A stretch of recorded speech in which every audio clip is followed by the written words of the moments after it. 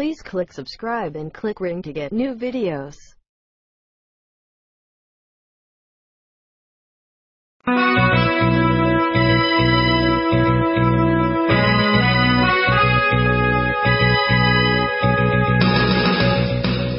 You're listening to Radio Free Asia.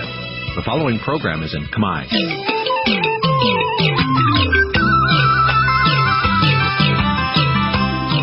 Nǐ ជាកម្មវិធីផ្សាយ Vuthu Azizi Serai នេះជាកម្មវិធីផ្សាយរបស់ Vuthu Azizi Serai ជាភាសាខ្មែរ Vuthu Azizi Serai សូមស្វាគមន៍លោកអ្នកនាងទាំងអស់ពីរដ្ឋធានី Washington នៃសហរដ្ឋអាមេរិកចាប់ពីរដ្ឋធានី Washington នាងខ្ញុំម៉ៅសុធានីសូមជម្រាបសួរលោកអ្នកនាងកញ្ញាទាំងអស់ជាទីមេត្រី បាទខ្ញុំបាទទីនសាការីយ៉ាក៏សូមជម្រាបសួរលោកអ្នកស្ដាប់ទាំងអស់ជាទីគោរពរាប់អានចាយើងខ្ញុំសូមជូនកម្មវិធីផ្សាយសម្រាប់យប់ថ្ងៃសៅរ៍8កើតខែចែកឆ្នាំរកានុបស័កពុទ្ធសករាជ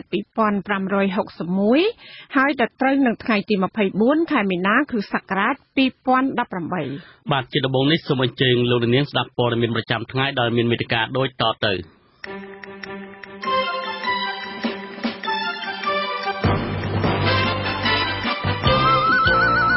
លោកហ៊ុនសែនចរចាជាមួយគណៈបកប្រឆាំងតាមដំណើររបស់ជប៉ុនដើម្បីជៀសផុតពីទណ្ឌកម្មអន្តរជាតិតំណាងរាជអូស្ត្រាលីដើមកំណត់ខ្មែរអំពីនាយកបរដ្ឋទៅឃ្លាំមើលសវនាការចំនួនចម្រាស់ក្តីលោកកំសខានៅថ្ងៃទី27មីនា និវិភាគអះអាងថាបកនយោបាយថ្មីរបស់ប្អូនលោកកែមលីជាបកនយោបាយរបស់លោកហ៊ុនសែនអតីតប្រធានសមាគមសិល្បករព្រួយបារម្ភពីការជួញដូរផ្លូវភេទក្នុងវិស័យសិល្បៈឲ្យអ្នកមានអំណាចរួមនឹងព័ត៌មានសំខាន់សំខាន់មួយចំនួនទៀត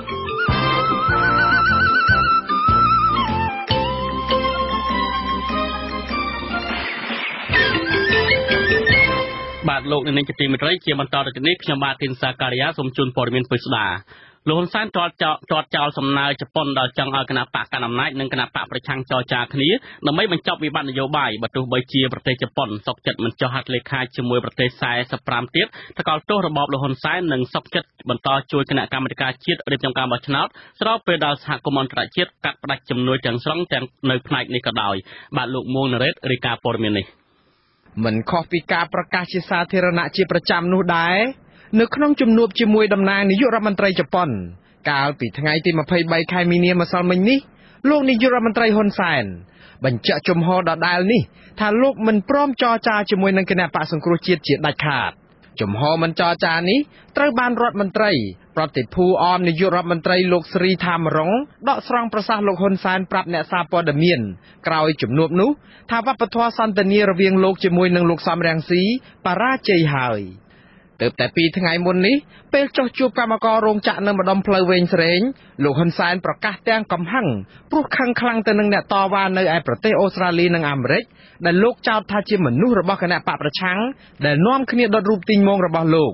លោកហ៊ុនសែនអះអាងថាបរាជ័យនៃការចរចា គឺដោយសារតែអារឿងដុតទីងមងរូបលោកនេះឯងចាំតែចរចាតែហ៊ុនសែនអត់ត្រូវការចរចាជាមួយណាទេ ចរចាជាមួយអាអ្នកជាប់គុកមិនចរចាទេអាក្រុមជាប់គុកតែត្រូវគេរំលាយឲ្យគឺគ្មានការចរចាណាណាចង់ធ្វើអីទៅដឹងតែកលឹះនៅដៃហ៊ុនសែនហើយទៅដុតរូហ៊ុនសែនវាមិនជាប់មិនមែនហ៊ុនសែនដាក់ផ្ទះទេក៏ប៉ុន្តែអ្នកឯងទៅផុតគំនុះក្រហមទៅហើយអញ្ចឹងបានសេរីថាអ្នកឯងស្ទើរភ្លើងណាស់ខាងនយោបាយអ្នកឯងគួរមានការអត់ធ្មត់ហើយអ្នកឯងសុំទទួលចរចាល្អទៀត លោកសំរងស៊ីប្រធានចលនាសង្គ្រោះជាតិប្រកាន់ជំហរចង់ឲ្យមានការចរចារកដំណោះស្រាយនេះដែរ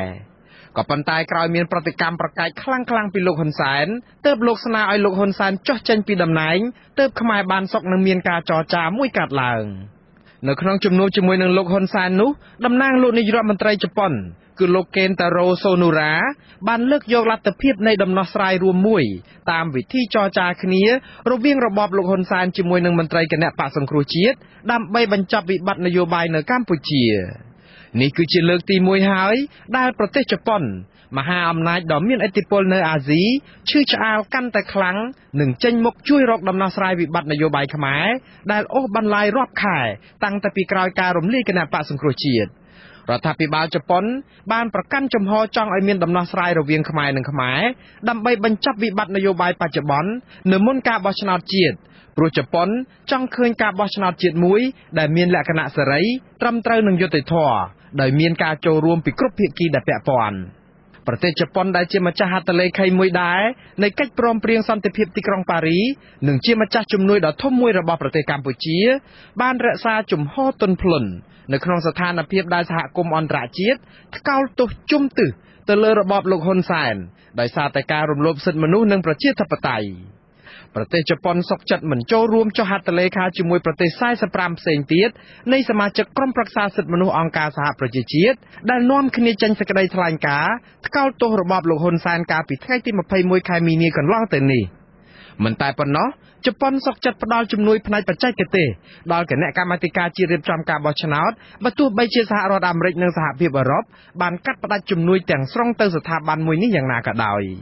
កាលពីខែកុម្ភៈកន្លងទៅនេះជប៉ុនបានផ្ដល់ជំនួយជាហឹបឆ្នោតចំនួន10000ហឹបឆ្នោតទៅឲ្យកោជបដែលមានតម្លៃសរុបជិត8លានដុល្លារខ្ញុំបាទមុងណារ៉េតអាស៊ីសេរីរដ្ឋធានី Washington បាទលោកនាយកទីមេត្រីភាគីជប៉ុននៅមិនទាន់ឆ្លើយតបទៅនឹងការបដិសេធរបស់លោកហ៊ុនសែននៅឡើយទេមកទល់នឹងថ្ងៃសៅរ៍ទី24មីនានេះក៏ប៉ុន្តែអ្នកនយោបាយលើកឡើងថាលោកហ៊ុនសែនមិនត្រូវបដិសេធភាគីជប៉ុនដែលជាម្ចាស់ជំនួយដ៏ធំរបស់កម្ពុជាក្នុងការងាកមកចរចាជាមួយគណៈបកប្រឆាំងដើម្បីបញ្ចប់វិបត្តិនយោបាយនៅកម្ពុជានៅពេលបច្ចុប្បន្ននេះបានទេលោកមនិតមាសមីមាសនេះ អ្នកខ្លមើលផ្នែកអភិវឌ្ឍសង្គមមានប្រសាសន៍ថាលោកនាយករដ្ឋមន្ត្រីហ៊ុនសែនបដិសេធសំណើរបស់ជប៉ុនដែលជំរុញឲ្យងាកមកតកចរចាជាមួយគណៈបកប្រឆាំងដើម្បីបញ្ចប់ចំនួននយោបាយនាពេលបច្ចុប្បន្ននេះទេនៅខណៈដែលរបបលោកហ៊ុនសែនកំពុងតែរងការដាក់ទណ្ឌកម្មពីសហគមន៍អន្តរជាតិកាន់តែធ្ងន់ធ្ងរនោះលោកបញ្ជាក់ថាជំរឿនដ៏ល្អសម្រាប់មេដឹកនាំបកប្រឆាំងនិងរបបលោកហ៊ុនសែនត្រូវតែរកវិធីសមស្របមួយដើម្បីដើរតាមកន្លងប្រជាធិបតេយ្យឡើងវិញបើមិនដូច្នោះទេកម្ពុជានឹងមានទាំងវិបត្តិសេដ្ឋកិច្ចផងនិងវិបត្តិនយោបាយកាន់តែខ្លាំងថែមទៀត។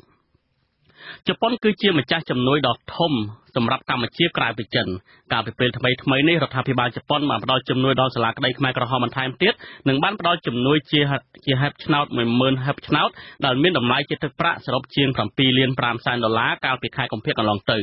បាទលោកនេះជាទីមេត្រីនៅពេលបន្តិចទៀតនេះយើងនឹងភ្ជាប់ទូរស័ព្ទទៅនៃវិភាគនយោបាយលោកមនិតមាសនេះនិងអ្នកខ្លំមើលការបោះឆ្នោតលោកគុលបញ្ញាដើម្បីបកស្រាយបន្ថែមថាតើ លោកហ៊ុនសែនមិនងាកមកតចរចា ដើម្បីបញ្ចប់ចំនួននយោបាយនោះនោះនឹងរងផលប៉ះពាល់ពីតនកម្មអន្តរជាតិ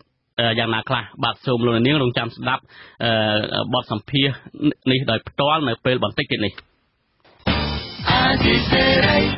បាទលោកនាងជាទីមន្ត្រីងាកទៅប្រទេសអូស្ត្រាលីវិញគឺតំណាងរាស្ត្រអូស្ត្រាលីដើមកំណត់ខ្មែរលោកហុងលីមអំពាវនាវឲ្យបរដ្ឋ ខ្មែរនៅកម្ពុជាទៅចូលរួមឃ្លាំមើលសវនាការលោកកម្មសខានៅសាឡាឧទ្ធរនាថ្ងៃទី27មីនាខាងមុខនេះឲ្យបានច្រើនកកកដើម្បីបង្ហាញការគាំទ្រចំពោះលោកកម្មសខាប្រធានគណៈបកសង្គ្រោះជាតិដែលកំពុងជាប់ឃុំឃាំងយ៉ាងអយុត្តិធម៌នោះបាទលោកយុនសមៀនរាយការណ៍ព័ត៌មាននេះ លោកហុងលឹមដែលត្រូវរបបលោកហ៊ុនសែនហាមឃាត់មិនឲ្យចូលស្រុកខ្មែរបង្ហោះសារតាមបណ្ដាញសង្គម Facebook នៅថ្ងៃសៅរ៍ទី24ខែមីនានេះថាការចូលរួមរបស់ពលរដ្ឋខ្មែរឃ្លាំមើលសវនាការសាឡាអូតូជាការផ្ដល់កម្លាំងចិត្តដល់លោកកឹមសុខាពីព្រោះយើងខ្ញុំនៅនេះសម្បត្តិមិនអាចធ្វើបានទេមានតែបងប្អូនសូមបងប្អូនជើញទៅឲ្យបានច្រើនកកកកំខានសោះដើម្បីសម្ដែងនៅវាថាការគ្រប់គ្រងចំពោះ លោកប្រធានកឹមសុខានេះហើយដើម្បីឲ្យគាត់មានការគេថាកក់ក្ដៅដឹងថាយើងទាំងអស់គ្នាដែលនៅជុំវិញប្រទេសនៅនីសមុទ្រនឹងគេថាយកចិត្តទុកដាក់គិតគូរពីសុខុមាលភាពរបស់គាត់ពីសុខភាពរបស់គាត់ពីសន្តិសុខរបស់គាត់ ពីការដែលគេគេចោទប្រកាន់ថាយ៉ាងអយុត្តិធម៌ពីតុលាការដែលគ្មានសិលធម៌គ្មានរបៀបផ្សេងនឹងបាទអ្នកនាំពាក្យគណៈបកប្រជាជនកម្ពុជាលោកសុកអេសាន បានចោទប្រកាន់លោកហុងលឹមថាការអំពាវនាវនេះគឺជាការដាក់សម្ពាធលើតុលាការឲ្យដោះលែងលោកកឹមសុខាអ្នកនាំពាក្យរូបនេះបានសរសេរបន្តនៅលើបណ្ដាញសង្គម Telegram របស់លោកថាការអំពាវនាវរបស់លោកហុងលឹមគ្មានបានការឡើយហើយលោកនឹងបរាជ័យ ប៉ុន្តែផ្ទុយពីការសន្និដ្ឋានរបស់លោកសុកអេសានពលរដ្ឋមានបញ្ហាដីធ្លីតំបន់បឹងកក់អ្នកស្រីប៊ូសុភាប្រាប់ថាលោកស្រីនឹងឆ្លៀតពេលទៅឃ្លាំមើលសវនាការលោកកឹមសុខា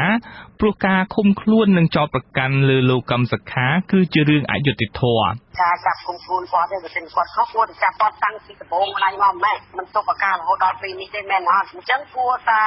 ផ្ដល់នូវភាពស្គាល់សម្រាប់គាត់ផ្ដល់នូវសេរីភាពសម្រាប់គាត់នៅក្នុងការខាងមុខនេះព្រោះអីយើងមើលឃើញទៅលោកកឹមសខាក៏គាត់មានម្ដាយជារៀនម្នាក់ដែលនៅកំពុងតែរងចាំកូនដើម្បីឲ្យកូនមានសេរីភាពឡើងវិញដែរគិតមកទល់ពេលនេះលោកកឹមសខាត្រូវបានឃុំខ្លួនក្នុងពន្ធនាគារអស់រយៈពេលជាង6ខែហើយដោយសារតែរបបលោកហ៊ុនសែនបានចោទប្រកាន់ថាលោកខុបខិតនឹងបរទេសក្បត់ជាតិស្លាវតនឹងបើកសវនាការមុខភាពលើដីកាស៊ើបសួររបស់សាលាដំបងរាជធានីភ្នំពេញដែលបន្តឃុំខ្លួនលោកកឹមសុខានៅថ្ងៃទី27ខែមីនាខាងមុខនេះលើកនេះតុលាការតម្រូវឲ្យលោកកឹមសុខាមានវត្តមានក្នុងសវនាការ សហមេធាវីលោកកឹមសុខាគឺអ្នកស្រីមេងសុភារី បានឲ្យដឹងថាអ្នកស្រីសង្ឃឹមថាសភាសាឡាអូតូនឹងដោះលែងកូនក្តីអ្នកស្រីឲ្យនៅក្រៅឃុំជាបណ្ដោះអាសន្នអ្នកស្រីយល់ថាចៅក្រមស៊ើបសួរសាលាដំបងរាជធានីភ្នំពេញដែលបានសម្រេចបន្តឃុំខ្លួនលោកកឹមសុខារយៈពេល6ខែទៀតកាលពីដើមខែមីនានេះជាការរំលោភសិទ្ធិកូនក្តីរបស់អ្នកស្រី និងជារឿងខុសច្បាប់ ការបន្តឃុំខ្លួនលើកូនក្តីជាងខ្ញុំ គឺប៉ះពាល់ដល់សិទ្ធិរបស់កូនក្តីយើងខ្ញុំធ្ងន់ធ្ងរណាស់ពីព្រោះអីការស៊ើបអង្កេតរបស់ចៅក្រមស៊ើបសួរមានរយៈពេល6ខែហើយមិនទាន់មានភស្តុតាងណាដាក់បន្ទុកជាមូលដ្ឋាននៅក្នុងការចោទប្រកាន់កូនក្តីយើងខ្ញុំនៅឡើយទេបច្ចុប្បន្នលោកកម្មសខាកំពុងមានបញ្ហាសុខភាពធ្ងន់ធ្ងរដែលតម្រូវឲ្យលោកទៅព្យាបាលនៅមន្ទីរពេទ្យឯកទេសជាបន្ទាន់ប៉ុន្តែតុលាការបានបដិសេធម្ដងហើយម្ដងទៀតមិនឲ្យលោកនៅក្រៅឃុំបណ្ដោះអាសន្ន ក្រមប្រទេស45ប្រទេសនៅសប្តាហ៍នេះបានថ្កោលទោសរបបលោកហ៊ុនសែនជុំវិញបញ្ហារំលោភកិច្ចព្រមព្រៀងសន្តិភាពទីក្រុងប៉ារីសនិងព្រមានថាការបោះឆ្នោតអាចចាត់ទុកថាសេរីត្រឹមត្រូវនិងយុត្តិធម៌បានទាល់តែរបបលោកហ៊ុនសែនបញ្ឈប់ការធ្វើទុកបុកម្នេញលើគណៈបកប្រឆាំងអង្គការសង្គមស៊ីវិលនិងប្រព័ន្ធផ្សព្វផ្សាយឯករាជ្យ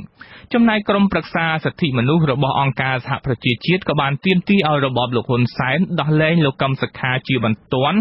ដោយឥតលក្ខខណ្ឌនិងដោះលែងរាល់អ្នកទោសនយោបាយទាំងអស់ឲ្យមានសេរីភាពឡើងវិញកាលពីថ្ងៃទី23មីនាម្សិលមិញសហរដ្ឋអាមេរិកបានដាក់លក្ខខណ្ឌថាអាមេរិកនឹងពិចារណាផ្ដល់ជំនួយដល់កម្ពុជាឡើងវិញតែក្នុងករណីរបបលោកហ៊ុនសែនដោះលែងអ្នកទោសមនសិការទាំងអស់និងអនុញ្ញាតឲ្យគណៈបកសង្គ្រោះជាតិមានដំណើរការដូចដើម។ ព្រឹទ្ធសភាអាមេរិកទើបតែអនុម័តកញ្ចប់ថវិកាថ្មីដែលមានទំហំទឹកប្រាក់មួយកណ្ដោសញ្ញា3ទ្រីលានដុល្លារមិនផ្ដល់ថវិកាណាមួយដើម្បីជួយដល់របបលោកហ៊ុនសែននោះទេឯកសារកញ្ចប់ថវិកាដែលព្រឹទ្ធសភាអាមេរិកទើបបានអនុម័តនេះកំណត់លក្ខខណ្ឌថាការបន្តផ្ដល់ជំនួយដល់កម្ពុជាអាចធ្វើទៅបាន តែក្នុងករណីរបបលោកហ៊ុនសែនដោះលែងអ្នកទោសនយោបាយទាំងអស់ រួមមានអ្នកសារព័ត៌មានមន្ត្រីអង្គការសង្គមស៊ីវិលនិងមន្ត្រីបកប្រឆាំងតែប៉ុណ្ណោះខ្ញុំយុនសាមៀនអាស៊ីសេរីពីរដ្ឋធានី Washington បាទលោកនាងជាទីមេត្រីឥឡូវនេះយើងបានភ្ជាប់ទូរស័ព្ទទៅលោកមនិតមាសនេះហើយនិងលោកកុលបញ្ញាបាទសូមជម្រាបសួរលោកទាំងពីរបាទ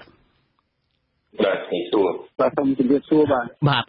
បាទជាដំបូងខ្ញុំសូមជម្រាបសួរលោកមនិតមាសនេះតកតងទៅនឹងជប៉ុនបានដើរតួនាទីសំខាន់នៅពេលបច្ចុប្បន្ននេះគឺថាជាអាញាកដាលដើម្បីសម្របសម្រួលឲ្យគណៈបក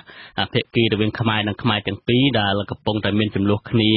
មួយរយៈកន្លងមកនេះឲ្យងាកមកតកចោលចោលវិញក៏ប៉ុន្តែអ្វីដែលជាខ្លឹមសារសំខាន់ដោយលោកទាំងពីរបានស្ដាប់ហើយគឺថាលោកនាយករដ្ឋមន្ត្រីហ៊ុនសែនបានលើកឡើងថាលោកមិនចរចាជាមួយអ្នកជាប់គុកទេ ហើយការលើកឡើងថាលោកមិនចរចាជាមួយអ្នកជាប់គុកទេបើយើងមើលទៅតើលោកកម្មសខាខ្លួនឯងជាអ្នកដើរចូលគុកឬក៏លោកជាអ្នកចាប់ហើយការដែលឆ្លើយតបបែបនេះតើលោកមើលឃើញយ៉ាងណាដែរបាទបាទបើសិនជាយើងមើលការរុញគ្នាទៅវិញទៅមកក្នុងករណីនយោបាយបច្ចុប្បន្នមួយខាងថាវាជាករណីច្បាប់តែមួយខាងទៀតវាគិតថានេះជាករណីនយោបាយក៏ ក៏ប៉ុន្តែទោះបីយ៉ាងណាក៏យើងមើលឃើញពីខាងក្រៅទៅគឺករណីនៃការចាប់ឃុំនៃមន្ត្រីជាន់ខ្ពស់គណៈបកសង្គ្រោះជាតិឬក៏អ្នកសារព័ត៌មានអីទាំងអស់នេះគឺវាធូរស្រាលទៅអាស្រ័យទៅលើសន្តិនយោបាយបើមិនកម្ដៅនយោបាយនឹងវាខ្សោយទៅវិញក៏យើងសង្ឃឹមថាវានឹងមានដំណោះស្រាយទៅលើការដោះលែងទាំងអស់ហ្នឹងណាបាទប៉ុន្តែយើង ការបកែកឬក៏ការបដិសេធរបស់រដ្ឋាភិបាលនេះជាសិទ្ធិរបស់រដ្ឋាភិបាលក៏ប៉ុន្តែបើសិនជាយើងមើលអំពីវិបត្តិបច្ចុប្បន្ននេះវិញយើងឃើញថានៅពេលដែលសម្ពាធអន្តរជាតិទំនងដូចជាកាន់តែតែធំទៅធំទៅរហូតដល់ចុងក្រោយយើងឃើញថាប្រទេសប្រមាណជា45ដែលបានអំពាវនាវសុំឲ្យមានការសម្របសម្រួលគ្នាឡើងវិញ ហើយក្នុងនោះដែរក៏ខ្ញុំបានសង្កេតឃើញតាំងពីដើមមកដែរថាជប៉ុននៅតែរក្សាភាពអព្យាក្រឹតមកដល់ពេលនេះហើយពីមុនមកយើងក៏សង្ស័យដែរថាជប៉ុនអាចនឹងបំពេញតួនាទីនៅក្នុងពេលណាមួយចាំបាច់ដែលសម្រាប់ជួយឲ្យអ្នកដែលគឺអ្នកនយោបាយខ្មែរជំនួសរាល់ថ្ងៃនេះអាចរកផ្លូវចេញឃើញណាបាទអញ្ចឹងខ្ញុំគិតថានេះគឺជាឱកាសមួយល្អណាស់សម្រាប់ ការពិនិត្យមើលទៅលើការស្នើសុំរបស់ជប៉ុននេះខ្ញុំមិនមិនចង់ឃើញប្រទេសខ្មែរនឹងគឺធ្វើការសម្រេចចិត្តអីមួយនៅក្រោមសម្ពាធបរទេសទេក៏ប៉ុន្តែបើសិនជាមានប្រទេសណាមួយដែលគេនិយមកណ្ដាលហើយគេមកទៅជែកជាមួយយើងដើម្បីសុំឲ្យយើងគិតមើលឡើងវិញហើយរក្សានៅលំនឹងនៃស្ថានភាពនយោបាយឲ្យវិលមកប្រកបដីឡើងវិញនេះជារឿងប្រសើរបាទព្រោះយើងឃើញចេះ បញ្ហានៅពេលដែលសម្ពាធពីខាងក្រៅមិននៅសម្ពាធទេគឺថាការប្រកាសកោតទោសឬក៏ចាត់វិធានការផ្សេងផ្សេងពីអន្តរជាតិចេះតែមានបន្តបន្ទាប់ហ្នឹងក៏យើងសង្កេតថានៅក្នុងចំណោមខ្មែរយើងដូចជាអ្នកដឹកនាំយើងកាលណាអញ្ជើញទៅស្រុកណាទៅប្រទេសណាក៏ដោយវាតែងតែមានការតវ៉ាប្រឆាំងបាតកម្មអីចឹងទៅអានេះវាមិនមែនជាមុខមាត់ល្អសម្រាប់អ្នកដឹកនាំទេបើកាលណា យើងទៅស្រុកណាប្រទេសណាក៏ដោយប៉ុន្តែដល់មានពលរដ្ឋខ្មែរយើងចេះតែមានការប្រឆាំងការតតាំងចឹងវាវាកិត្តិយសកិត្តិយសរបស់អ្នកដឹកនាំបាទហើយរឿងមួយទៀតជាធម្មតានៅក្នុងប្រទេសដឹកអ្នកដឹកនាំប្រទេសនីមួយៗហ្នឹងកាលណាតែប្រទេសយើងមិនត្រូវបានអន្តរជាតិជាទទួលស្គាល់ដោយសារតែការរំលោភសិទ្ធិមនុស្សឬស្អីស្អីនេះគឺពេលដែលយើងចូលទៅរួមប្រជុំនៅក្នុងសន្និសីទអន្តរជាតិនីមួយៗនេះ ប្រទេសគេដទៃក៏គេមានគេហៅជាកិច្ចការទូតរបស់គេដែរគឺគេមិនបានមកស្វាគមន៍យើងគឺមិនបានមកអង្គុយជជែកលេងអីជាមួយយើងទេដោយសារគេគិតថាកាលណាគេមកជជែកជាមួយយើងវាខ្លាចទៅលើរដ្ឋាភិបាលនោះគេគេអាចមានកំណត់សញ្ញាណាមួយថានឹងឯងបានមកតាក់ទងប្រទេសមួយដែលគេមិនទទួលស្គាល់អញ្ចឹងណាបាទ បាទបាទទាំងអស់នេះវាសុទ្ធតែជាកិត្តិយសរបស់អ្នកដឹកនាំទាំងអស់កាលណាបើបើសិនជាប្រទេសយើងវាអាចឈានដល់កន្លែងមួយដែលគេមិនទទួលស្គាល់ឬអន្តរជាតិមិនទទួលស្គាល់គឺពេលនោះអ្នកដែលទទួលរងនៅអឺការអាប់អោនកិត្តិយសមុនគេនេះគឺអ្នកដឹកនាំខ្លួនឯងនឹងឯងនៅពេលដែលពួកគាត់អញ្ជើញទៅសន្និសីទអន្តរជាតិណាមួយក្រៅប្រទេសរបស់ខ្លួនហ្នឹងគឺតែងតែមិនសូវបានជាទទួលការស្វាគមន៍អីពីគេប្រមាណទេបាទនេះជាមួយដែលយើងសង្កេតឃើញនៅ នេះជាកិច្ចការការទូតរបស់ប្រទេសនីមួយៗបាទបាទអរគុណខ្ញុំចង់ងាកទៅលោកគុលបញ្ញាវិញបាទអឺអ្វីដែលជប៉ុនដើរតួនាទីសម្រាប់សម្រួលនៅពេលនេះគឺយើងមើលឃើញ ថាជប៉ុនមិនមែនជាប្រទេសមួយដែលទាញប្រយោជន៍ខ្លាំងពីកម្ពុជាទេផ្ទុយទៅវិញគឺកម្ពុជាទៅវិញទេដែលទាញប្រយោជន៍ខ្លាំងពីកម្ពុជាយើងមើលពីជំនួយគិតតាំងពីឆ្នាំ93មកគឺជប៉ុនបានជួយច្រើនណាស់សម្រាប់កម្ពុជាហើយជប៉ុនក៏ដើរតួនាទីសំខាន់នៅក្នុងការសម្របសម្រួលឲ្យមានការបោះឆ្នោតដោយយុត្តិធម៌ដែរបន្ទាប់ពីគណៈបកនយោបាយដែលមានចំនួនកាលពីឆ្នាំ2013អឺ មកទល់ពេលនេះគឺសហគមន៍អន្តរជាតិទាំងប្រទេសទាំង45ទៀតគឺអ្វីដែលចង់បានហ្នឹងគឺថាឲ្យភាគីខ្មែរនិងខ្មែរត្រូវរើគ្នាឲ្យដើរតាមកន្លងប្រជាធិបតេយ្យទេបើសិនជាលោកហ៊ុនសែនបដិសេធបែបនេះហើយរៀបចំការបោះឆ្នោតដោយគ្មានគណៈបកប្រឆាំងចូលរួមហ្នឹងតើរបបរបស់លោកនឹងមានវិបត្តិអ្វីធ្ងន់ធ្ងរថែមទៀតលោកបាទអរគុណខ្ញុំមើលឃើញជប៉ុនដើរតួនាទី ក្នុងរឿងបញ្ហានយោបាយនៅកម្ពុជានេះបើមើលនៅក្នុងតំបន់អន្តរជាតិករណីកម្ពុជានេះគឺពីអង់គ្លេសហៅថា unique វាជាលក្ខណៈពិសេសបាទដែលប៉ុនហាក់ដូចជាចូលចង់ចូលរួមឬក៏បានកំពុងចូលរួមនៅក្នុងទូនាទីក្នុងការដោះស្រាយចម្លោះនយោបាយឬក៏បញ្ហានយោបាយនៅកម្ពុជានេះ តាំងពីពេលមានកិច្ចព្រមព្រៀងទីក្រុងប៉ារីសហើយឥឡូវនេះនៅបន្តបេសកកម្មទៀតបានន័យថាជប៉ុនមិនងាយទេនៅប្រទេសបណ្ដាប្រទេសនានានៅលើពិភពលោកគាត់មិនសូវទៅចូលរួមនៅក្នុងរឿងដោះស្រាយនយោបាយទេគាត់វាច្រើនគាត់គាត់នៅឆ្ងាយពីពន្តិការនយោបាយតែកម្ពុជាអឺជប៉ុន យល់ឃើញថាខ្លួននៅមានទួនាទីនេះមានសារៈសំខាន់ហើយអ្វីដែលយល់ឃើញបញ្ហានយោបាយនៅកម្ពុជានេះជប៉ុនមើលឃើញខ្ញុំមើលឃើញជប៉ុនមើលឃើញដូចនៅប្រទេសនានានៃប្រទេសលោកនៃប្រចាំប្រទេសដែរគឺថាបញ្ហាកម្ពុជានេះមិនមែនជាការអនុវត្តច្បាប់ទេគឺជាបញ្ហាមូលហេតុនៃនយោបាយនៃការប្រកួតប្រជែងខាងនយោបាយហើយអញ្ចឹងទៅប៉ុន្តែគាត់ទៅខាងជប៉ុនអឺ របៀបរបៀបវិធីសាស្ត្រក្នុងការដោះស្រាយបញ្ហានយោបាយនេះតើទៅនឹងការប្រកួតប្រជែងនយោបាយឬក៏ដំណោះនយោបាយនេះ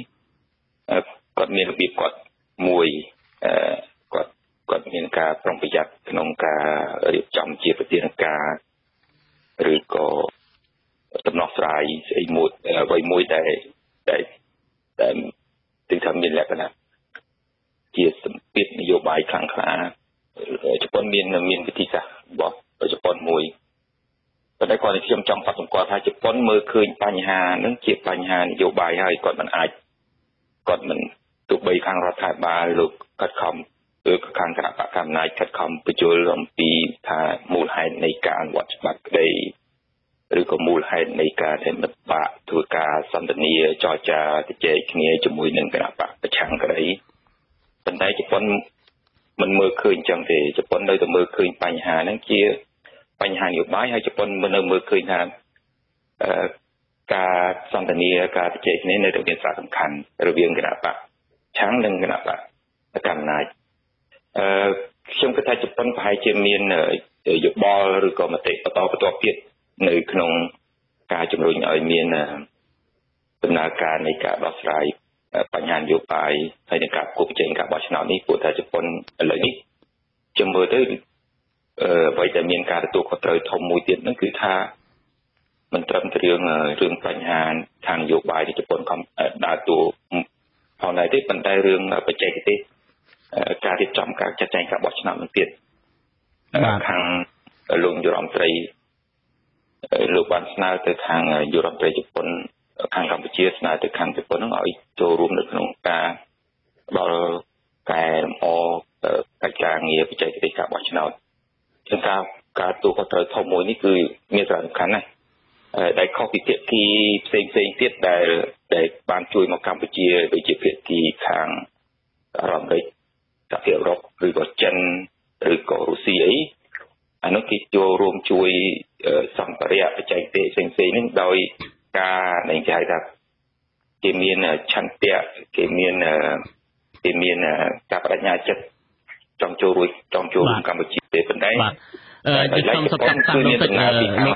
បាទលោកចង់បញ្ជាក់ថាកាលពីគណៈបកទាំងពីរកំពុងដំណើរការចរចាគ្នាកាលពីមានចំនួនលើកមុនហ្នឹងគឺថាភាគីទាំងពីរបានស្នើជប៉ុនជួយរៀបចំការបោះឆ្នោតនៅកម្ពុជាហើយឥឡូវនេះជប៉ុនចង់បង្ហាញអំពីការទទួលខុសត្រូវរបស់ខ្លួនដែលសន្យាថានឹងជួយរៀបចំការបោះឆ្នោតនៅកម្ពុជាស្របតាមប្រជាធិបតេយ្យនោះបាទ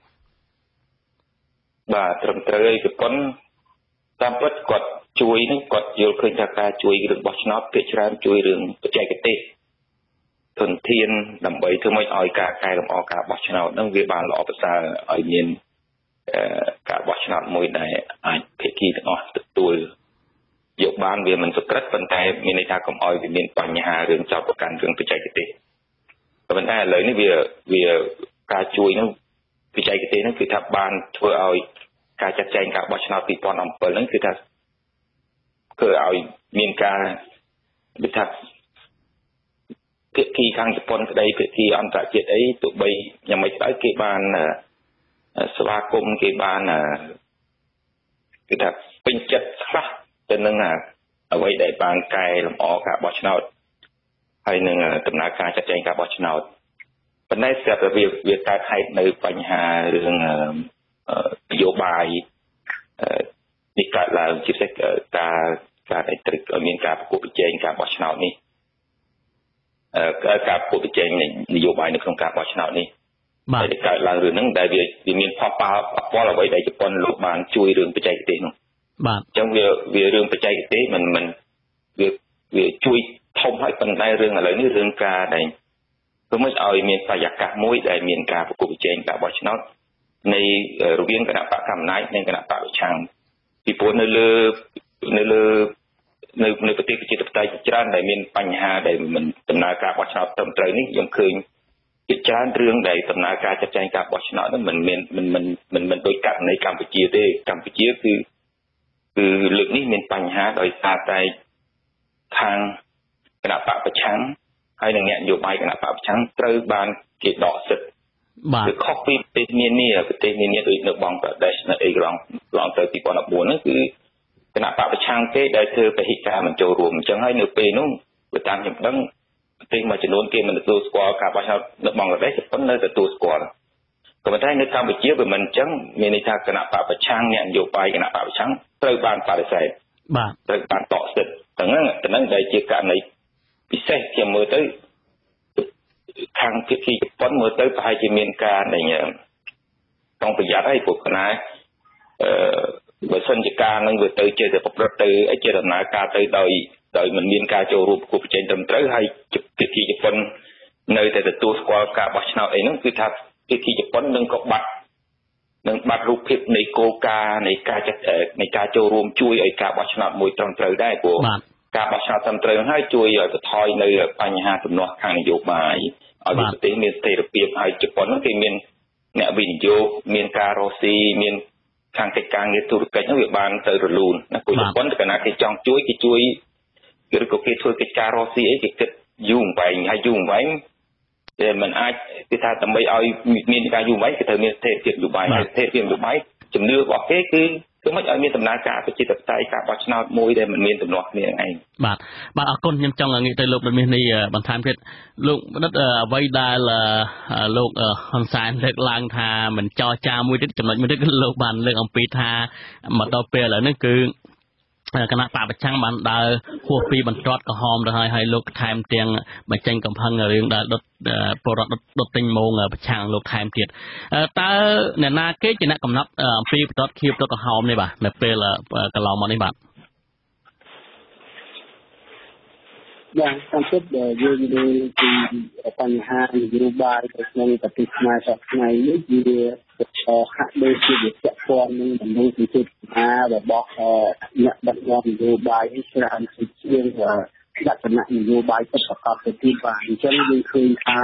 ស្ថានភាពនយោបាយលើទឹកខ្មែរយើងនេះបច្ចុប្បន្ននេះគឺវាឡើងឡើងសម្ដៅឬចុះសម្ដៅគឺអាស្រ័យទៅលើអារម្មណ៍របស់ដឹកនាំបាទថា មានបញ្ហារញោចអីទីទៅយើងឃើញមានពាក្យផ្សាយផ្សាយពេញមកការប្រមាថគ្នាទៅវិញទៅមកអញ្ចឹងទៅបាទចឹងអាទៅនឹងមួយកាលណាបើសិនជាយើងយកមនុស្សសញ្ចេតនាយកអារម្មណ៍ផ្ទាល់ខ្លួនមកដោះស្រាយរឿងនយោបាយនេះដោះមិនរួចទេហើយមិនត្រឹមតែមិនរួចទេវាធ្វើឲ្យស្ថានភាពវាកាន់តែធ្ងន់ធ្ងរតទៅទៀតហើយកាន់តែនិយាយគ្នាការទៅទៀតណា ហើយយើងត្រូវនឹងពីវប្បធម៌ពីវប្បធម៌ខ្មែរមួយទៀតកាលណាឈ្នះគ្នាគឺអត់ចង់និយាយដល់គ្នាទេហើយបើនិយាយគឺលើកពីដើមគ្នាទៅវិញទៅមកណាបាទតែអញ្ចឹងលោករវាងអ្នកនយោបាយខ្មែរសប្តាហ៍គឺវាឆ្លុះប្រចាំងនៅវប្បធម៌របស់ខ្មែរយើងនៅពេលដែលមានទំនាស់គ្នាគឺយើងអត់ព្រមមកវាដោះស្រាយគ្នាទេយើងរត់ទៅព្រឹងគេម្នាក់ទៅព្រឹងខាងលិចម្នាក់ទៅព្រឹងទៅកើតជាងទៅអ្នកព្រឹងអាមេរិកព្រឹងចិនហ្នឹងទៅបាទ ហើយយើងនេះក៏តែជារឿងលើកទី1ឲ្យយើងនិយាយទៅដដែលដដែលឡើងវិញណាបាទហើយនៅពេលដែលយើងចាប់ដៃគ្នាទៅពឹងមកខាងទៅពឹងមកខាងទៀតហ្នឹងគឺយើងឃើញថាយើងនេះច្រើនតែអឺត្រូវបានរកវាឃើញបាទឲ្យទៅចាប់ដើមមានរូបដោះដោះដៃចេញពីមហាអំណាចណាមួយគឺយើងច្រើនតែចូលទៅក្នុងវិបត្តិនេះកាន់តែជ្រៅទៅជ្រៅទៅបាទប៉ុន្តែអ្វីដែលជាលក្ខណៈពិសេសនេះយើងឃើញថា ពីមុនមុនមកយើងឃើញតែប្រទេសនៅបច្ចិមប្រទេសនេះភាគច្រើនច្រើនតែបង្ហាញទៅការព្រួយបារម្ភបង្ហាញនៅការដាក់សម្ពាធឬក៏ការគម្រាមពមៀនផ្សេងផ្សេងប៉ុន្តែយើងឃើញថាប្រទេសជប៉ុននេះបានរក្សាជំហរអព្យាក្រឹតតាំងពីដើមទីមកដល់ពេលនេះបានអញ្ចឹងវត្តមានរបស់រដ្ឋាភិបាលជប៉ុនក្នុងការជួយជ្រោមជ្រែងនាំផ្លូវយើងចេញពីវិបត្តិផ្ទៃក្នុងនេះគឺជារឿងមួយដែលសំខាន់បំផុតហើយខ្ញុំរំពឹងថា បាទតែជាមិនមែនត្រឹមតែនេះជាលេខទី1ទេខ្ញុំគិតថាជាគុំគេនឹងអាចធ្វើការសម្របសម្រួលទៅជាជាមួយអ្នកនយោបាយខ្មែរនេះតទៅទៀតបាទហើយបាទអឺទោះបីជាយ៉ាងក៏ដោយតែយើងសង្កេតឃើញថាអរឿងបញ្ហាវិបត្តិនៃស្រុកខ្មែរយើងនេះអឺ វាត្រូវទាមទារឲ្យអ្នកនយោបាយនេះតែអាចពីថ្ងៃនេះពីថ្ងៃនេះទៅត្រូវអង្គុយជុំគ្នាឲ្យរៀបរកមធ្យោបាយណាមួយដើម្បីកុំឲ្យវាចេះតែមានជាគ្នាឯងធ្វើទៅធ្វើត្រឡប់ទៅវិញទៅមកវិញទៅមកជាងទៀតហើយយើងត្រូវចាំថារយៈពេល50ឆ្នាំចុងក្រោយនេះកំណត់ស្រាយនយោបាយដែលយើងឃើញកន្លងមកហើយនេះគឺត្រូវច្រើនតែមិនទៅផ្ដល់បានសេចក្តីសុខសម្រាប់អ្នកដឹកនាំនយោបាយที่យើងឃើញថា អ្នកដែលចាញ់អ្នកដែលធ្លាក់អំណាចនេះច្រើនតែត្រូវរត់ចោលស្រុកឬក៏យ៉ាងម៉េចហើយយើងយើងអត់ចង់ឃើញចឹងយើងចង់ឃើញថាអ្នកដឹកនាំខ្មែរអ្នកនយោបាយខ្មែរនៅពេលដែលយើងបានរួមរួមគឺថាអ្នកណាមួយដែលធ្លាក់អ្នកណាមួយដែលចុះពីអំណាចគឺត្រូវតែអាចមានសិទ្ធិក្នុងការនៅសុខស្រួលនៅក្នុងប្រទេសរបស់ខ្លួនមិនមាន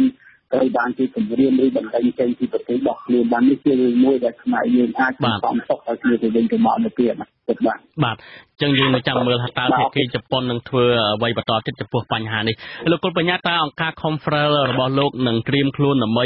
រៀបចំខ្លងមើលការបោះឆ្នោតនៅខែកក្កដាខាងមុខនេះទេបាទមកទល់ពេលនេះបាទបាទយើងកំពុងត្រៀមធ្វើកិច្ចការងារយើងតើទៅនឹងការសង្កេតការបោះឆ្នោត ការងារអប់រំអ្នកបោះឆ្នោត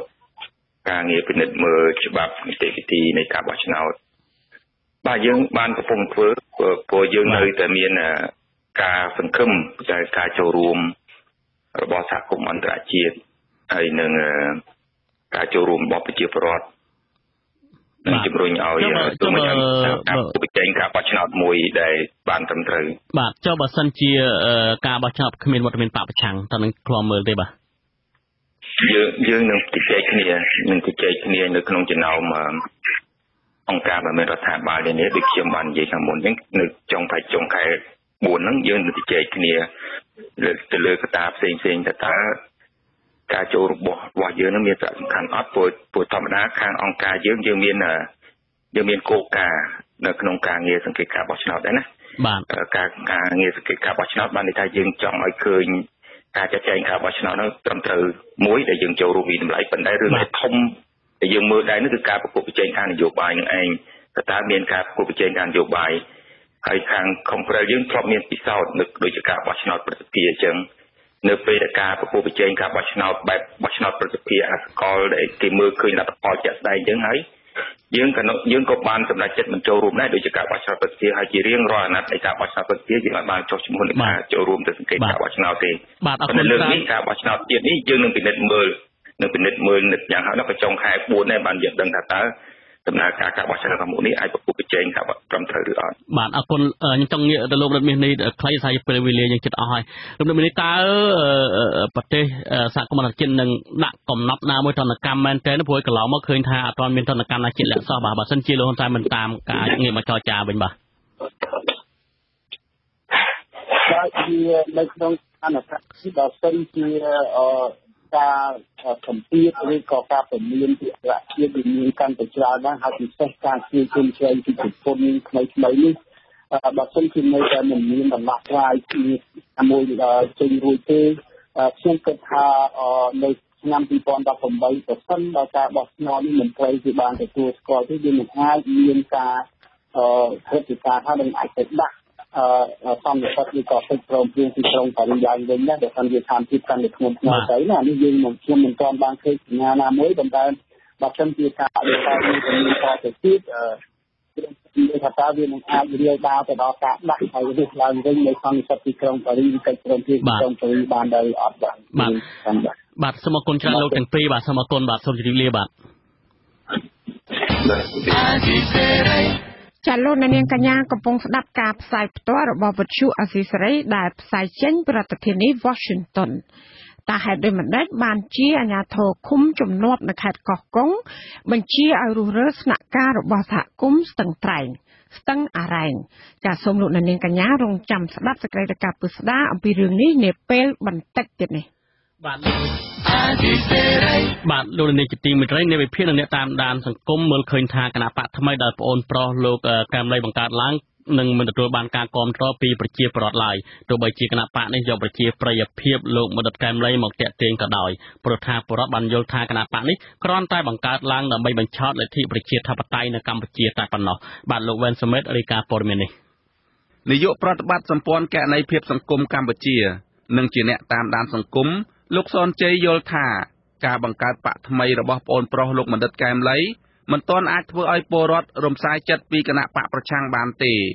លោកបន្ថែមទៀតថាមូលហេតុដែលគណៈបកថ្មីនេះមិនបានជោគជ័យដោយសារតែស្ថាបនិកនៃគណៈបកនេះមិនទាន់មានបទពិសោធន៍នយោបាយច្បាស់លាស់ពលរដ្ឋនៅតែទន្ទឹងរង់ចាំមើលការវិលត្រឡប់នៃវត្តមានរបស់គណៈបកប្រឆាំងនិងពលរដ្ឋ កំពុងចាប់អារម្មណ៍គណៈបកប្រជាធិបតេយ្យមូលដ្ឋានខ្ញុំមើលទៅឃើញថាគណៈបកថ្មីដែលប្អូនលោកនិតកែមលីបង្កើតហ្នឹងទំនងជាពេលវេលានេះដល់ថ្ងៃបោះឆ្នោតនៅខែ7ខែកក្កដា2018ហ្នឹងខ្ញុំគិតថាពេលវេលាមួយតែមិនច្រើនទេហើយអញ្ចឹងការរៀបចំគោលនយោបាយព្រៀងព្រៀងហ្នឹងខ្ញុំគិតថាពិបាកនឹងទៅរួចអញ្ចឹងមកកាលណាវាពិបាកទៅរួចវាអាចពិបាកនៅក្នុងការតាក់ទាញការគ្រប់គ្រងពីប្រជាពលរដ្ឋប្អូនប្រុសរបស់លោកបណ្ឌិតកែមលីឈ្មោះកែមរតិសិទ្ធ បានសម្រេចបង្កើតគណៈបកកែមលីគណៈបកនេះត្រូវបានលោកកែមរិទ្ធិសិទ្ធអះអាងថាបង្កើតឡើងដើម្បីបញ្ជាកុំឲ្យអ្នកនយោបាយនៅកម្ពុជាយកឈ្មោះបណ្ឌិតកែមលីទៅកេងចំណេញនយោបាយនៅក្រៅពេលដែលគណៈបកនេះត្រូវបានណែនាំឲ្យបដូរឈ្មោះដើម្បីឲ្យស្របតាមច្បាប់គណៈបកនយោបាយក្នុងរបបលោកហ៊ុនសែនស្ថាបនិកនៃគណៈបកនេះបានសម្រេចបដូរឈ្មោះដាក់ថាគណៈបកខ្មែរតែមួយអាស៊ីសេរីមិនទាន់អាចតាក់ទងលោកកែមរិទ្ធិសិទ្ធបានទេនៅថ្ងៃទី24មិនិនា ប៉ុន្តែស្ថាបនិកម្នាក់ទៀតនិងជាអ្នកនាំពាក្យគណៈបកខ្មែរតែមួយលោកគុជលីត្រូវបានកាសែតភ្នំពេញប៉ុស្តិ៍ដកស្រង់សម្ដីថាគណៈបកលោកនឹងត្រូវបានទទួលស្គាល់ពីក្រសួងមហាផ្ទៃក្នុងពេលឆាប់ឆាប់ខាងមុខលោកគុជលីប្រាប់ពីមូលហេតុនៃការសម្រេចចិត្តដាក់ឈ្មោះបកថាខ្មែរតែមួយនិងបដូរពី logo ពីរូបលោកបណ្ឌិតកែមលីមកមនុស្ស3នាក់គៀកដៃគ្នា គឺតំណាងសាមគ្គីរវាងខ្មែរនិងខ្មែរមានន័យថាខ្មែរលើ ខ្មែរក្រោមនិងខ្មែរកណ្ដាលគឺខ្មែរតែមួយគ្មានរើសអើងភរិយានិងបងស្រីបង្កើតរបស់លោកបណ្ឌិតកែមលីធ្លាប់បង្ហាញការមិនពេញចិត្តចំពោះការបង្កើតគណៈបករបស់លោកកែមរិទ្ធិសិទ្ធដែលបានយកឈ្មោះលោកបណ្ឌិតកែមលីទៅលាយឡំអ្នកស្រីប៊ូរចនាលើកឡើងថាស្វាមីអ្នកស្រីគឺលោកបណ្ឌិតកែមលីមិនដែលមានបំណងបង្កើតគណៈបកនយោបាយទេអ្នកវិភាគនយោបាយវ័យក្មេងលោកហងវិទូរំលឹកថា កាលពេលនៅមានជីវិតលោកបណ្ឌិតកែមលីតែងតែផ្ដល់ទស្សនៈថាការបង្កើតបកច្រើននាំឲ្យរញ៉េរញ៉ៃនិងខាតបង់សន្លឹកឆ្នោតអ្នកវិភាគរូបនេះចាត់ទុកថាការបង្កើតគណៈបកថ្មីនេះមិនមែនជាជំរើសល្អសម្រាប់ពលរដ្ឋខ្មែរទេម្យ៉ាងទៀតគណៈបកនេះគ្មានប្រភពច្បាស់លាស់ជៀសមិនផុតទេពីការរិះគន់ថាបកនេះប្រហែលជាចេតនានយោបាយ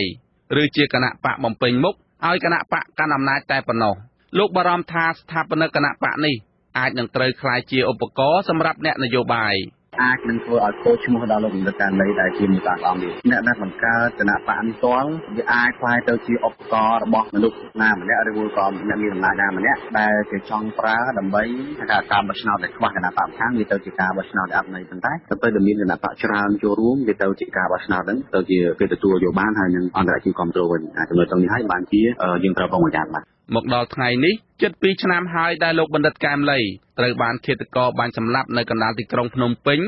របបលោកហ៊ុនសែននៅមិនទាន់អាចបង្ហាញផុសតាងណា ដែលអាចធ្វើឲ្យពលរដ្ឋនិងប្រពន្ធកូនលោកបណ្ឌិតកែមលីជឿជាក់បានថាអឺតអាងឬជួបសម្លាប់ជាឃាតករតែម្នាក់និងគ្មានអ្នកបញ្ជានៅពីក្រោយក្នុងការបាញ់សម្លាប់លោកបណ្ឌិតកែមលីនៅឡើយទេខ្ញុំបាទវ៉ែនសុមេតអាស៊ីសេរីពីរដ្ឋធានី Washington បាទលោកនាយកជាទីមេត្រីប្រធានសមាគម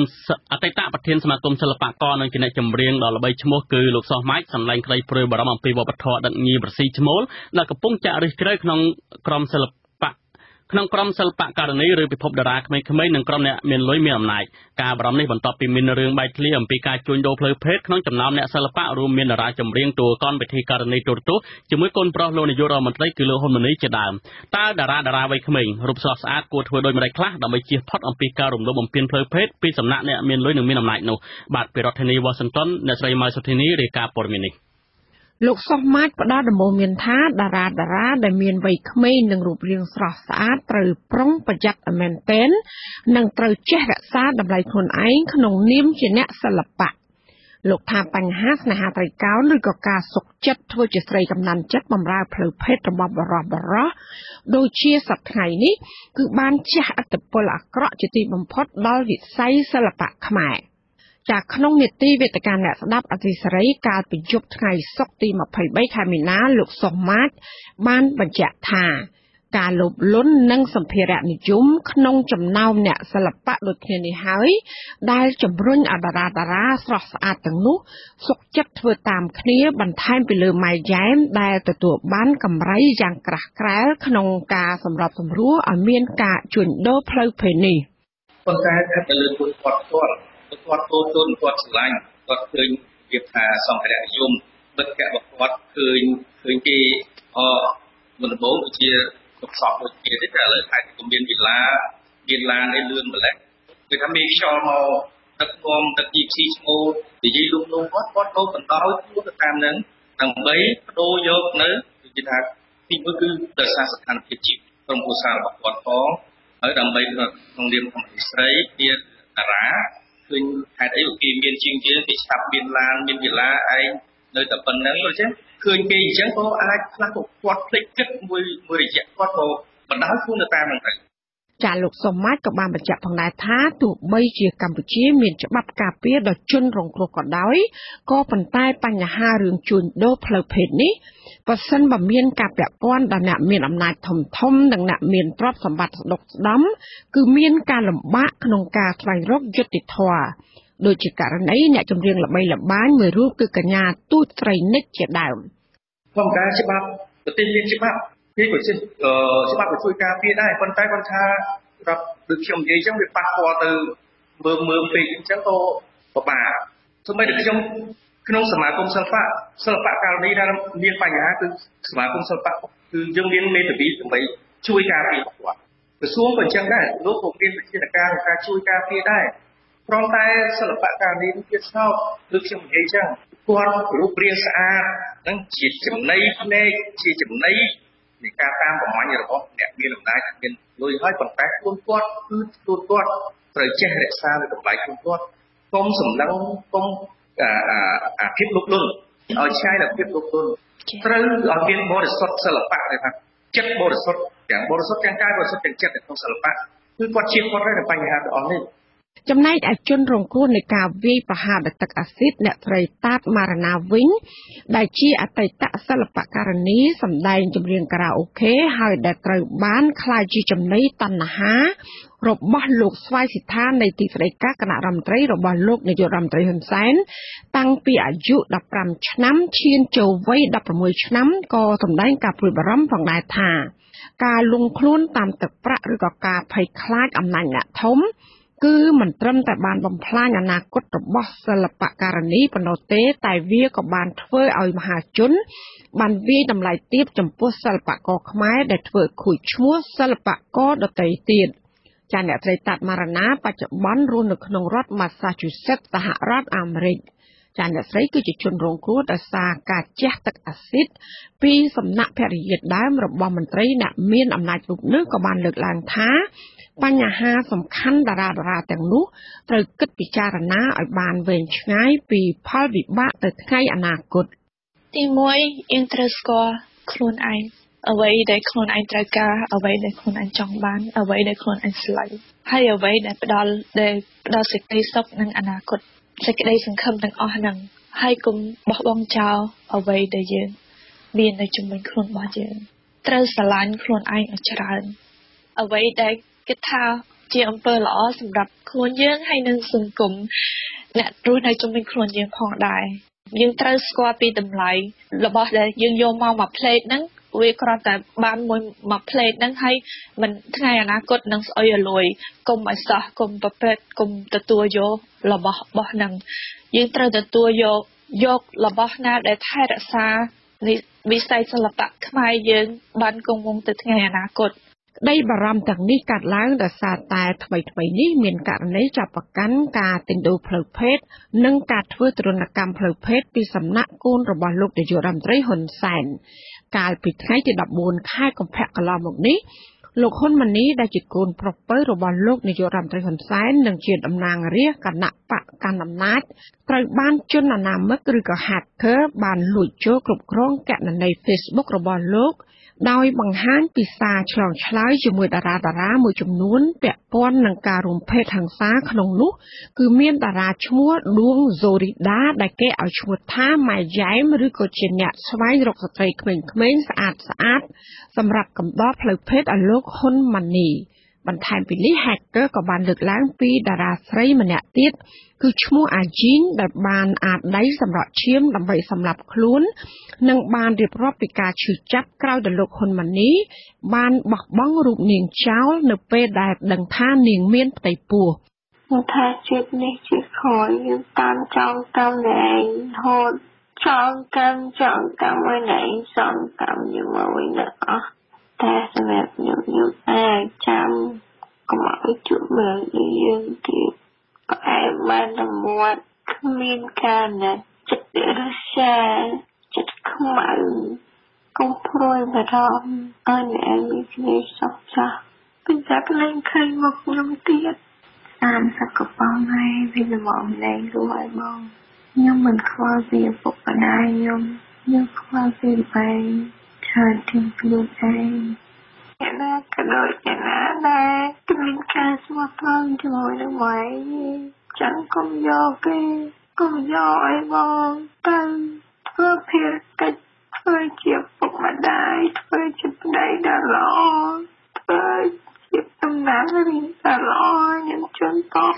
យកគេកុំយកអីបងទៅធ្វើភារកិច្ចធ្វើជាពុកម្ដាយធ្វើជាប្តីដ៏ល្អធ្វើជាតំណាងរាជដ៏ល្អខ្ញុំជូនតបរហូតមកដល់ពេលនេះពុំមានសមត្ថកិច្ចណាចេញមុខស៊ើបអង្កេតករណីធ្វើទរណកម្មផ្លូវភេទរបស់លោកតំណាងរាស្ត្រហ៊ុនម៉ាណីទៅលើតារាតារាទាំងនោះនៅឡើយទេចាស៊ីស្រីក៏មិនអាចសុំការឆ្លើយតបពីតារាតារាទាំងនោះហើយនឹងលោកហ៊ុនម៉ាណីបាននៅឡើយដែរទោះបីជាព្យាយាមតាក់ទងតាមទូរស័ព្ទជាច្រើនដងក៏ដោយចំណែកឯលោកហ៊ុនម៉ាណីវិញក៏មិនបានបដិសេធចំពោះការបែកធ្លាយរឿងរ៉ាវទាំងនោះដែរ ចាទាំងអ្នកតំណាងរាជគណៈបក្សសង្គ្រោះជាតិអ្នកត្រីមូសុខួរនិងមន្ត្រីសង្គមស៊ីវិលមួយចំនួនក៏បានសម្ដែងការព្រួយបារម្ភចំពោះសវត្ថភាពសេចក្តីថ្លៃថ្នូរនិងកិត្តិយសរបស់ស្ត្រីខ្មែរចាជាពិសេសគឺតារាក្មេងៗដែលរងគ្រោះដោយអំពើហិង្សារឿងអាស្រូវផ្លូវភេទរបស់លោកហ៊ុនម៉ាណីមន្ត្រីទាំងនោះក៏បានជំនុំពរថាលោកហ៊ុនម៉ាណីគួរតែចេញមុខបកស្រាយការពិតអំពីរឿងនេះ ដើម្បីការពារកិត្តិយសនិងសេចក្តីថ្លៃថ្នូររបស់ត្រកូលហ៊ុនផងដែរចានាងខ្ញុំម៉ៅសុធានីអាស៊ីសេរីពីរដ្ឋធានី Washington បាទលោកនេះគឺបានស្ដាប់ព័ត៌មានប្រចាំថ្ងៃរបស់វិទ្យុអស៊ីសេរីដែលរៀបចំជូនដោយខ្ញុំបាទទីនសាការីយ៉ាពីរដ្ឋធានី Washington សូមលោកនាងរងចាំស្ដាប់សេចក្តីរាយការណ៍ផ្សេងៗនៃកម្មវិធីផ្សាយរបស់យើងនៅពេលបន្តិចនេះ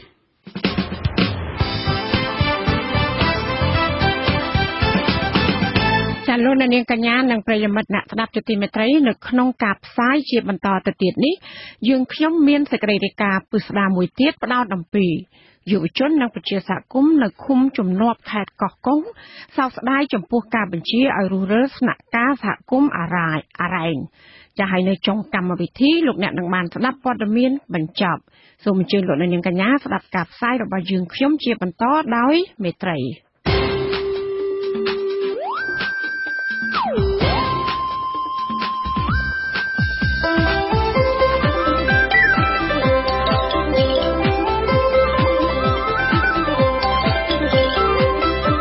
ក្តីរាយការណ៍ពិស្ដា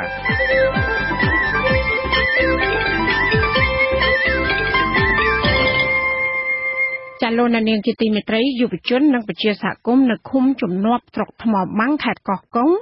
សោកស្ដាយចំពោះការសម្រេចរបស់អាជ្ញាធរឃុំឲ្យរុះរើស្នាក់ការរបស់សហគមន៍ស្ទឹងអរ៉ែង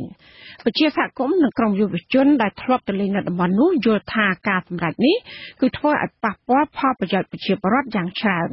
តើស្នាក់ការសហគមន៍ស្ទឹងអរ៉ែងនេះបានផ្ដល់ផលប្រយោជន៍អ្វីខ្លះចាលោកវ៉ាន់សុមេតរាយការណ៍ពុស្ដាជំវិញព័ត៌មាននេះ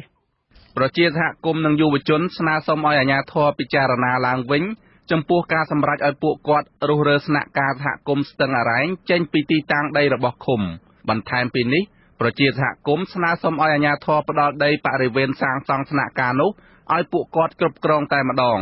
ជៀសវាងការបង្គាប់ឲ្យរុះរើចេញភ្លាមៗដោយមិនបានពិភាក្សាឬគិតគូរពីប្រយោជន៍របស់សហគមន៍បែបនេះ អនុប្រធានសហគមន៍ស្ទឹងអរ៉ែងជនជាតិដើមភាគតិចចងនៅឃុំជំនាប់លោកហេងពៅ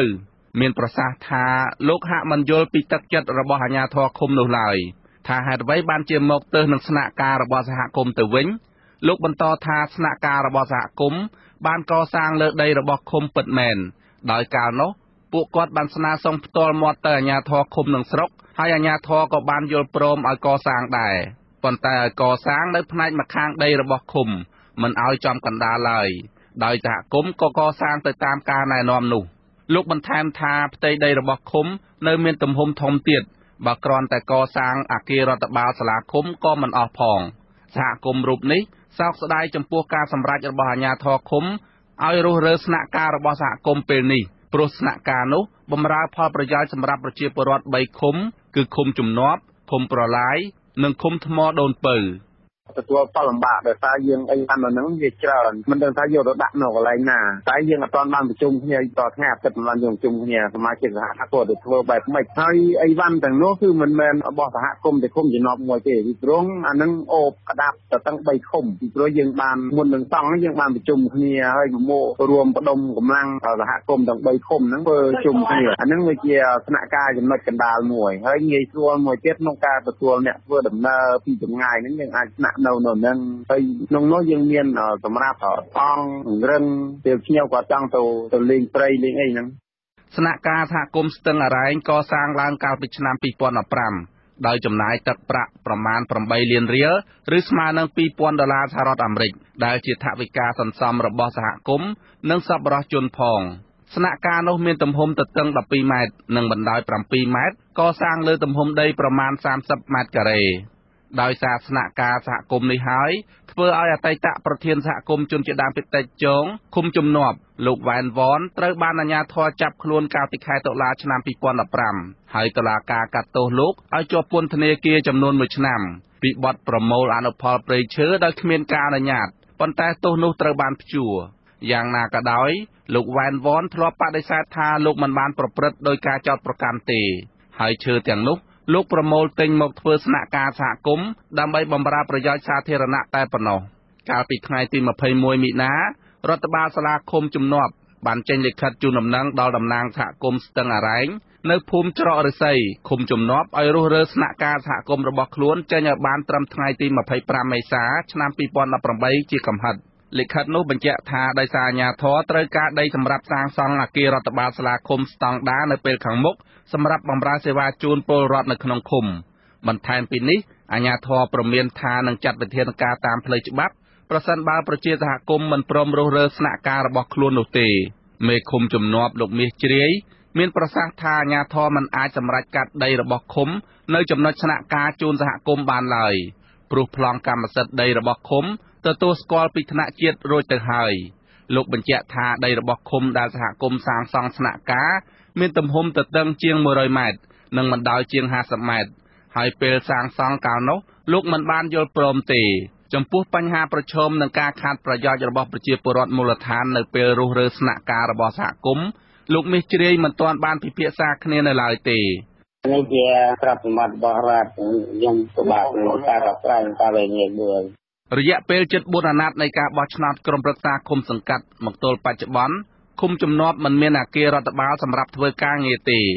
លោកមាសជ្រាយអះអាងថាការបំពេញការងារកន្លងមក គឺធ្វើការនៅតាមផ្ទះមេឃុំឬសមាជិកក្រុមប្រឹក្សាឃុំតែប៉ុណ្ណោះយ៉ាងនេះក្តីកាលពីពេលថ្មីថ្មីនេះអង្គការក្រៅរដ្ឋាភិបាលមួយបានប្រគល់ស្នាក់ការរបស់ខ្លួនជូនអាជ្ញាធរឃុំសម្រាប់ធ្វើការបណ្ដោះអាសន្ន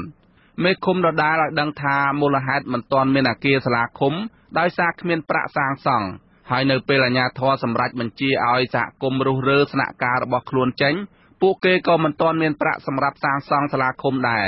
យុវជនដែលតែងតែចុះធ្វើការងារជាមួយសហគមន៍ជនជាតិដើមភាគតិចជងនៅឃុំជំនាប់លោកម៉ូតកឹមរី មើលឃើញថានៅពេលស្នាក់ការត្រូវបានរុះរើចេញពលរដ្ឋនឹងបាត់បង់ប្រយោជន៍ជាច្រើនដូចជាបាត់បង់កន្លែងជួបប្រជុំគ្នាដើម្បីធ្វើការងារបាត់បង់ប្រាក់ចំណូលតាមរយៈជូនភ្ញៀវទេសចរដើរកម្សាន្ត ឬលក់ចំណីចំណុកនិងសម្ភារៈផ្សេងផ្សេងឲ្យភ្ញៀវទេសចរជាដើមលោកយល់ថាការសម្រេចរបស់អាជ្ញាធរឃុំពេលនេះអាចជាការបំបាក់ស្មារតីរបស់ប្រជាសហគមន៍តែម្ដង វាហាក់ដូចជាចង់និយាយថាបំបត្តិនៅកម្មវិធីទេសចរហ្នឹងហ្មងបងសម្រាប់គុំព្រោះគាត់ពឹងទៅលើទីស្នាក់ការហ្នឹងហើយដើម្បីនាំភ្ញៀវដើម្បីភ្ញៀវស្នាក់កន្លែងហ្នឹងធ្វើម្ហូបធ្វើបាយធ្វើទឹកហើយក៏ជាការជួបជុំរបស់ពួកគាត់គឺគាត់ប្រើប្រាស់កន្លែងហ្នឹងដើម្បីជួបជុំអញ្ចឹងតំបន់អរ៉ែងមានផ្ទៃដីរាប់ម៉ឺនហិកតាលាតសន្ធឹងលើផ្ទៃដីនៃឃុំចំនួន4ក្នុងស្រុកថ្មបាំងខេត្តកោះកុងរួមមានឃុំចំណាឃុំប្រឡាយឃុំជំនាប់និងឃុំថ្មដូនពៅ តំបន់នេះពោពេញទៅដោយធនធានធម្មជាតិសម្បូរបែបដូចជាព្រៃឈើសត្វព្រៃកម្រ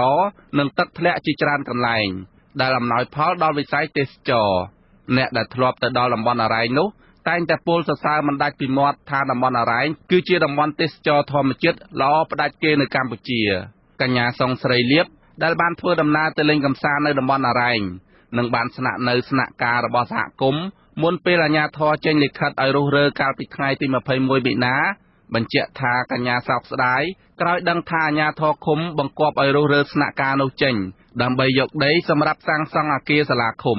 កញ្ញាបន្តថាការសម្រេចរបស់អាជ្ញាធរពេលនេះ វាមិនត្រឹមតែប៉ះពាល់ដល់ពលរដ្ឋប៉ុណ្ណោះទេប៉ុន្តែនឹងធ្វើឲ្យទំនាក់ទំនងរវាងពលរដ្ឋនិងអាជ្ញាធរប្រែជាល្អកកទៀតផង។ ក្នុងនោះដែរវាធ្វើឲ្យខាតប្រយោជន៍រួមចុះបើពួកគាត់ចង់ធ្វើសាលាឃុំក៏ធ្វើទៅហើយគាត់ទុកទីស្នាក់ការនឹងកន្លែងនឹងជាកន្លែងផលប្រយោជន៍រួមរបស់សហគមន៍វាជារឿងមួយដែលនាំឲ្យប្រជាពលរដ្ឋកើនចំណូលហើយពួកគាត់ជាអាជ្ញាធរឃុំនឹងក៏មានកិត្តិយសនិងមានគេឈ្មោះជាមួយប្រជាពលរដ្ឋដែរប៉ុន្តែអ្វីដែលគាត់ធ្វើនេះគាត់ធ្វើឲ្យខាតប្រយោជន៍ច្រើនមែនទែនសម្រាប់ប្រជាពលរដ្ឋសំបីតែជាមួយគាត់នឹងសំបីតែគាត់ក៏ត្រូវខាតផលប្រយោជន៍ដែរគឺផលប្រយោជន៍ឯផលប្រយោជន៍នៃការតំណាក់តំណងល្អជាមួយប្រជាពលរដ្ឋខ្លួនឯងនៅក្នុងឃុំវាបង្កឲ្យមានការមើលមុខគ្នាមិនត្រង់វាបង្កឲ្យមានការរើសអើងគ្នាមិនខុសគ្នានេះភ្ញៀវទេសចរមួយរូបទៀតកញ្ញាជេងស្រីវ៉ាន់លើកឡើងថាស្នាក់ការសហគមន៍ស្ទឹងអរ៉ែងគឺផ្ដល់ផលប្រយោជន៍ច្រើនដល់អ្នកទេសចរដូចជាផ្ដល់កន្លែងស្នាក់នៅមួយត្រឹមត្រូវនិងអាចស្នាក់នៅជុំគ្នាបានព្រមទាំងមានសុវត្ថិភាពទៀតផងលើសពីនេះទីតាំងស្នាក់ការងាយស្រួលដល់ភ្ញៀវស្វែងរកហើយប្រសិនបើស្នាក់ការសហគមន៍ត្រូវបានគេរុះរើភ្ញៀវទេសចរនឹងជួបការលំបាកមិនខាន។ ខ្ញុំមានយោបល់តែមួយគត់សូមឲ្យគាត់យកកន្លែងផ្សេងធ្វើជាទីស្នាក់ការសាលាភូមិអីទៅបើសិនជាក្នុងនាមខ្ញុំជាអ្នកទេសចរទៅចូលចិត្តតំបន់ហ្នឹងហើយខ្ញុំចង់ផ្សព្វផ្សាយមានគេទៅដើរលេងនៅតំបន់ហ្នឹងទុកស្នាក់ការហ្នឹងទៅដើម្បីឲ្យបានចំណូលឲ្យទៅសហគមន៍ដែលគាត់អ្នកនៅក្នុងស្រុកហ្នឹងទទួលបានផលចំណូលខ្លាំងអញ្ចឹងណាហើយសាលាឃុំខ្ញុំគិតថាមិនខ្វះទេដីដីកន្លែងណាក៏បោះរដ្ឋដែរអញ្ចឹងអាចរកដីកន្លែងផ្សេងទៅធ្វើសាលាឃុំឲ្យធំជាងនឹងក៏បានដែរ អ្នកសម្របសម្រួលផ្នែកខ្លំមើលសិទ្ធិមនុស្សអង្គការលីកាដូ លោកអិនកុងចិត្តយល់ថាករណីនេះកើតឡើងដោយសារមានទំនាស់ផលប្រយោជន៍រវាងសហគមន៍ជាមួយអាជ្ញាធរលោកបន្ថែមថាសហគមន៍នៅតំបន់នោះ មានចំនួន2គឺសហគមន៍អេកូទេសចរមួយគ្រប់គ្រងដោយអាជ្ញាធរហើយអាចផ្ដល់ផលប្រយោជន៍ដល់អាជ្ញាធរប៉ុន្តែសហគមន៍មួយទៀតដែលដឹកនាំដោយលោកវ៉ែនវ៉នកាលពីពេលកន្លងមកมันបានផ្ដល់ប្រយោជន៍ដល់អាជ្ញាធរ លោកមើលឃើញរូបភាពបែបនេះថាបង្ហាញពីការរើសអើងចំពោះប្រជាសហគមន៍ពីសំណាក់អាជ្ញាធរមូលដ្ឋាន។ ដោយសារសហគមន៍ហ្នឹងគាត់មានការតស៊ូមតិកន្លងមកបានជោគជ័យដូចជាបានវិជាផុតតំបន់គាត់ហ្នឹងពីគម្រោងទំនប់វារីអគ្គិសនីស្ទឹងឆាយអរ៉ែងហើយសហគមន៍ហ្នឹងគាត់បានទទួលភ្ញៀវទេសចរដែលមកលេងកម្សាន្តហ្នឹងគាត់រកចំណូលបានដោយសារគាត់រកចំណូលដោយមិនកំណត់មិនកំណត់នេះគឺដោយសារភ្ញៀវស្ម័គ្រចិត្តអ្នកផ្ដល់ឲ្យណាហើយពួកគាត់បានចែករំលែកអាធនធានហ្នឹងទៅតាមសមាជិកសហគមន៍អញ្ចឹងมันបានគ្រប់គ្រងដោយអាជ្ញាធរឃុំអញ្ចឹងហើយជាអាជ្ញាធរឃុំគាត់មើលឃើញអាចំណុចហ្នឹងហើយបានជាគាត់ចង់បិទទីស្នាក់ការរបស់សហគមន៍នឹងដោយយកដីថាតាំងសង់សាលាឃុំមន្ត្រីសង្គមស៊ីវិលរូបនេះយល់ថាដើម្បីជាការលើកកម្ពស់ជីវភាពរស់នៅរបស់ប្រជាសហគមន៍នៅតំបន់នោះពិតប្រាកដអាជ្ញាធរគប្បីសម្បទាននៅចំណែកដីរបស់ឃុំដែលសង់ស្នាក់ការជូនសហគមន៍តែម្ដង ហើយមួយចំណែកដីទៀតអាជ្ញាធរក៏អាចសាងសង់សាលាឃុំបានដែរមួយវិញទៀតអាជ្ញាធរអាចឲ្យសហគមន៍ខ្ចីដីនោះបន្តទៀតឬរកដីតំបន់ណាផ្សេងជូនសហគមន៍ ជៀសវាងការកំណត់ឲ្យរើចេញភ្លាមភ្លាមដោយមិនបានគិតគូរពីបញ្ហាប្រឈមរបស់ពួកគាត់ជាមុនខ្ញុំបាទវ៉ែនសុមេត អាស៊ីសេរីពីរដ្ឋធានី Washington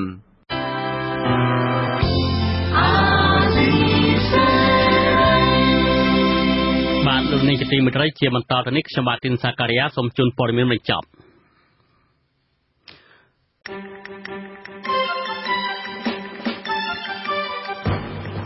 តំណាងរាជអូស្ត្រាលីដើមកំណត់ខ្មែរលោកហុងលីបំពីវនាយកបរដ្ឋខ្មែរនៅកម្ពុជាទៅចូលរួមខ្លមមើលសវនាការលោកកម្មសខានៅសាឡាវថននាថ្ងៃទី27មីនាខាងមុខនេះឲ្យបានច្រើនកោះកដើម្បីបង្ហាញការគាំទ្រចំពោះលោកកម្មសខាប្រធានគណៈបកសង្គ្រោះជាតិដែលកំពុងជាប់ឃុំឃាំងយ៉ាងអយុត្តិធម៌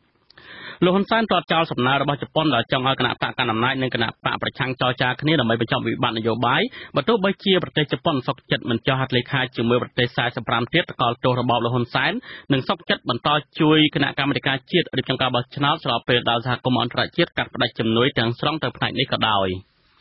ភាគីជប៉ុនមិនទាន់ឆ្លើយតប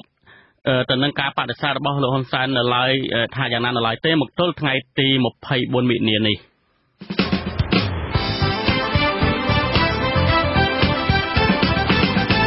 លោកនាងជាទីមេត្រីការផ្សាយរយៈពេល1ម៉ោងរបស់វិទ្យុអាស៊ីសេរីនាពេលនេះចាប់តែប៉ុណ្ណេះយើងខ្ញុំសូមជូនពរដល់លោកនាងព្រមទាំងក្រុមគ្រួសារទាំងអស់ឲ្យជួបប្រកបតែនឹងសេចក្តីសុខចម្រើនរុងរឿងកុំបីឃ្លៀងឃ្លាតឡើយចានាងខ្ញុំម៉ៃសុធីនីខ្ញុំបាទទីនសាការីយ៉ាព្រមទាំងក្រុមការងារទាំងអស់របស់វិទ្យុអាស៊ីសេរីសូមអរគុណនិងសូមជម្រាបលារីត្រីសួស្តី